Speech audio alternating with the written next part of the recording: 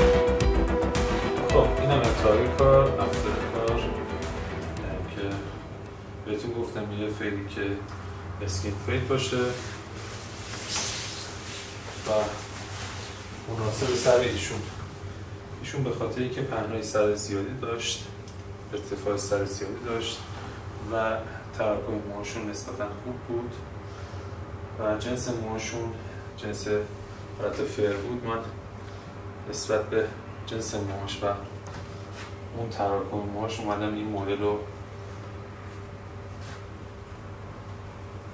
یه مدل کوتاهی به سبک مربع و یه fade با تکنیک skin fade یا هم تکنیک تخصصی متد خودم. رو این دو طرف رو ما اجرا کردیم. بدون لکه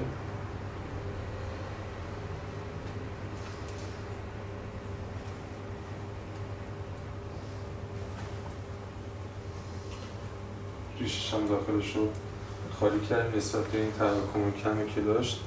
ما تونستیم فقط داخلش رو خالی کنیم و روی سرش هم دقت کنیم. یه شیپ خیلی منظم و حالت مکعب مانند واسه شون درست کردیم. نظر شما خیلی برام مهمه. توی کامنت ها حتما سوالاتتون رو بپرسید. هر سوالاتی بابت fade یا استایل یا haircut باشه من کاملا پاسخگو هستم. کار که دستم انجام میدم.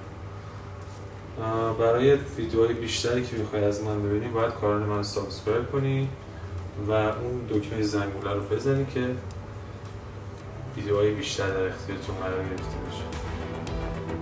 که همه هستیم. تا بعد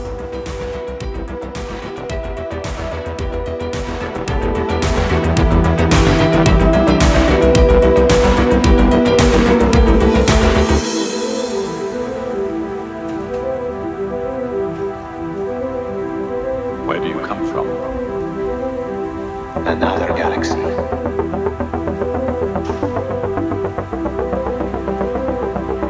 You know they're out there. You know they're out there.